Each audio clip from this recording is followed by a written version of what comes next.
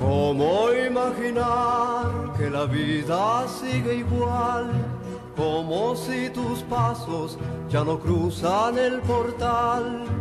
¿Cómo pretender esa realidad?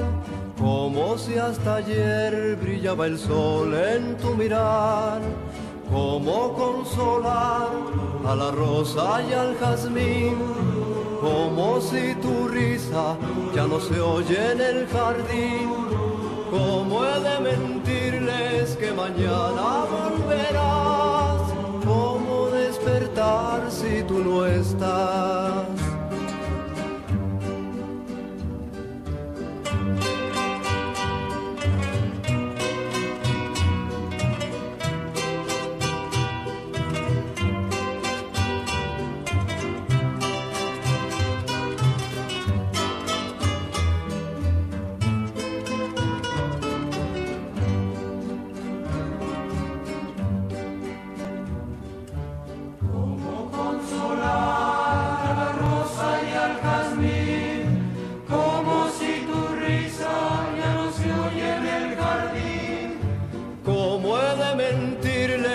que mañana volverás? ¿Cómo despertar?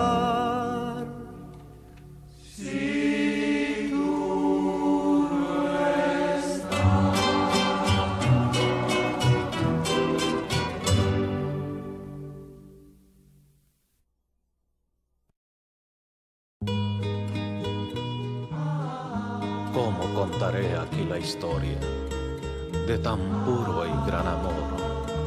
Su luz profunda nos refleja su color, la sencillez con que nos llena de calor.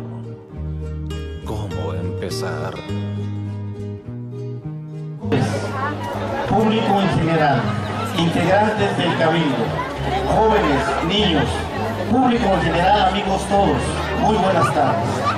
El día de hoy, en un día tan especial, donde todos los seres humanos que habitamos aquí en la tierra tenemos una madre y los que no tuvieron una madre, todos productos de un ser que Dios le ha dado esa gran bendición, pro- procrear a sus hijos. Por eso el día de hoy, en este día tan especial, quisiera rogarle y pedirle a Dios por las mujeres que están aquí presentes, por las mujeres de Tlaltizapán, por las mujeres de Morelos, por las mujeres de México, por las mujeres de todo el mundo y en especial para las mujeres que hoy se encuentran en un hospital, para las mujeres que hoy están en un reclusorio,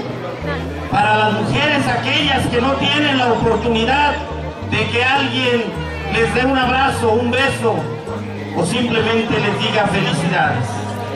Por eso el día de hoy, esta administración que represento y a nombre de los integrantes del Cabildo y en especial de tres grandes mujeres que honran el Cabildo y una el DIF aquí presentes, quiero decirle con todo el corazón a todas las mujeres del mundo, felicidades. La madre hay que honrarla todos los días. A la madre hay que honrarla día con día, porque eso es bendición. Porque en las sagradas escrituras dice, honra a tu padre y a tu madre, y Dios te alargará los días.